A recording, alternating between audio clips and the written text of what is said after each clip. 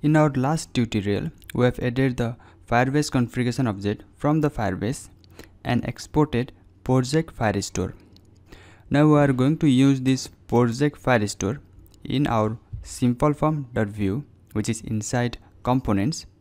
Now if you look at the form, what we want to do is whenever users fill up this form and click the submit button, we want to send those data to the Firebase database.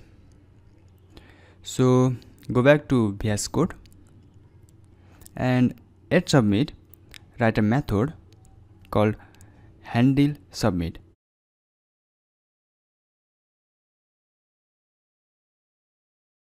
Now we also need to create this method. So after the ending bracket of data method write comma methods then declare that method. So for that I'm gonna copy this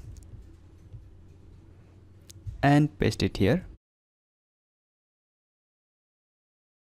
Now let's also import the project firestore from config.js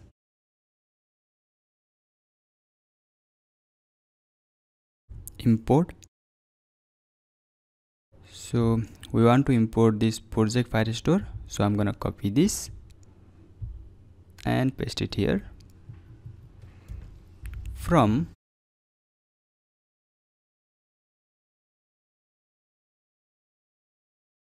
firebase slash config. Wrap all this variable by a single object. Let user message equals to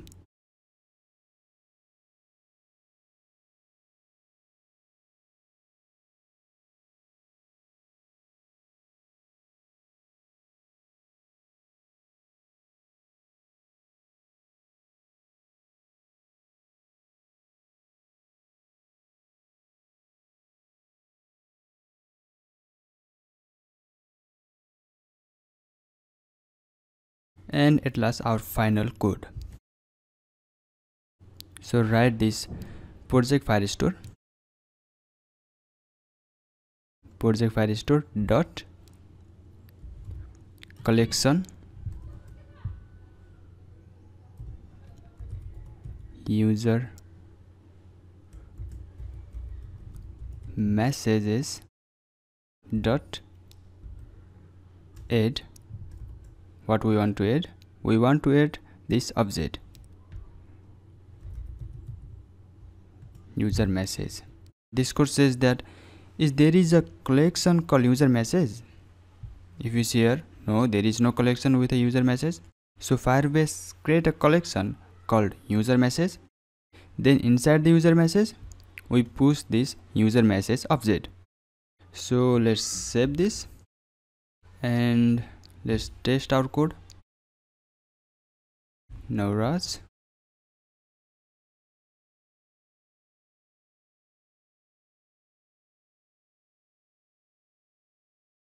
I'm gonna send this. And